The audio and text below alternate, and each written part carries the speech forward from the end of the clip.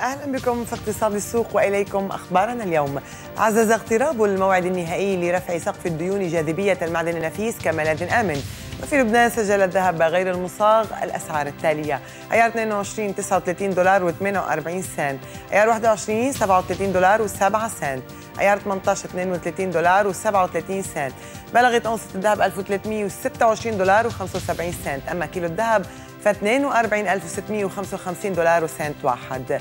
ألقت أزمة الميزانية الأمريكية بظلالها على توقعات الطلب على النفط في أكبر بلد مستهلك للخام في العالم. فانخفض سعر العقود الآجلة لخام برنت 14 سنت ووصل إلى 109 دولار و53 سنت للبرميل. ارتفع الخام الأمريكي 7 سنت ووصل إلى 103 دولار و10 سنت للبرميل.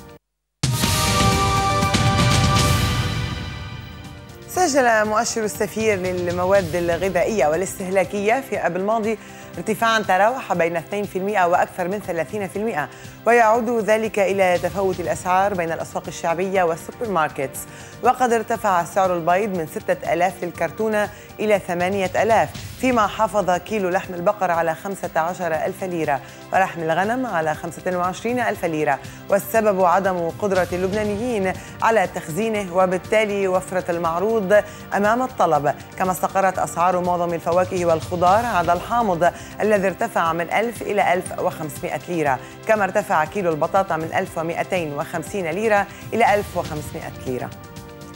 حتى البنك الدولي ينوي خفض ميزانيته بما يصل إلى 400 مليون دولار وذلك للمرة الأولى منذ 17 عاما. ويضع البنك هذه الخطوة في إطار عملية تنظيم شاملة لزيادة قدرته على أداء مهمته. وسيجري الخفض على ثلاثة أعوام ويشكل 8% من النفقات السنوية الحالية للبنك والبالغة 5 مليارات دولار. ويتزامن ذلك مع زيارة يقوم بها محافظ البنك المركزي الإيراني إلى أمريكا للمشاركة في اجتماع البنك الدولي في وقت تطفو على السطح. ديون إيران للبنك الدولي والبالغة 79 مليار دولار. أمريكا تخسر نحو ربع مليون دولار في كل دقيقة بسبب تعطل أعمال الحكومة. وقد تجاوزت خسائرها المتراكمة أمس أكثر من مليار و600 مليون دولار. في وقت يبدأ اليوم الثلاثاء تداول ورقة جديدة من فئة 100 دولار بعد تعزيز تأمينها تكنولوجيا من التزوير. إشارة إلى أن ورقة ال 100 دولار هي الأكثر عرضة للتزوير وتشير التقديرات إلى تداول أكثر من 80 مليون دولار من الورق فئة المئة المزور داخل الولايات المتحدة وأكثر من 14 مليون دولار خارجها.